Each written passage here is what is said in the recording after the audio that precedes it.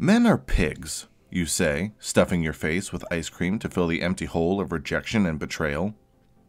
Any relationship is difficult to maintain, but a romantic relationship between a man and a woman is even more so.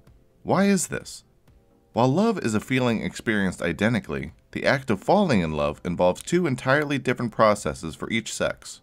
In the case of men, there are seven particular steps men follow for falling in love. The first step, appreciation, is by far the most common. It's the act of checking someone out, focusing on the physical appearance of a potential mate. Physical appearance is not the most important factor, yet a condition of a man's individual preferences must be met. The second stage, infatuation, involves a need to seduce the target love interest. Traditional methods involve asking the interest out on a date, while alternative methods may be based on shared interests and hobbies. If he is rejected in this pursuit, the man will most likely lose interest.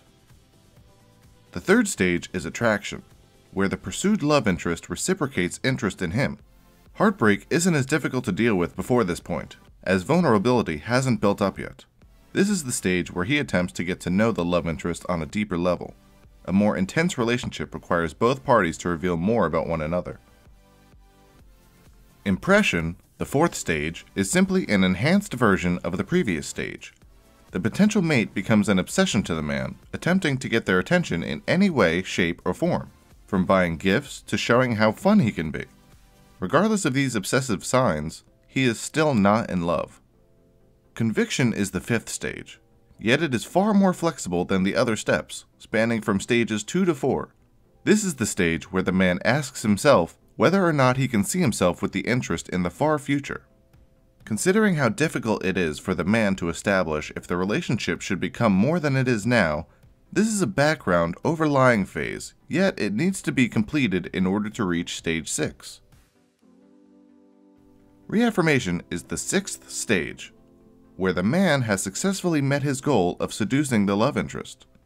Only when the potential mate is in this state will he seriously consider whether or not he wants to have an extreme long term relationship. The man needs space in this stage. In some cases, he could disappear to weigh the pros and cons.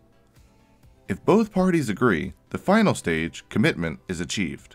Both parties will be committed to the relationship at this point, and considering this is the seventh stage, yes, the man is finally in love.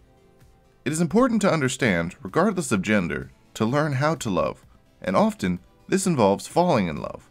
Hopefully, with these tips, you found an easier path to understanding how romance works in the mind of a typical man. Males can be fickle, but if you're into that, keep these steps in mind. You'll be ahead of those who think they know how love works and maybe you'll save yourself a few pints of ice cream as well. Chocolate can't fix everything. Maybe mint, but not chocolate. Thanks for watching Psych2Go. Don't forget to comment and subscribe for more.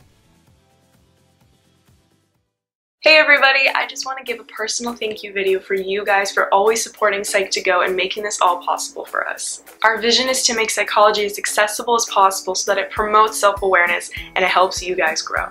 However, we want to make more content for you guys and would love your support in buying one of these bracelets from our partner, Introvert Palace. Check out the bracelet, it's pretty cool and it even includes Pluto. The link to purchase will all be in the description below and I hope you guys have an amazing day. Bye!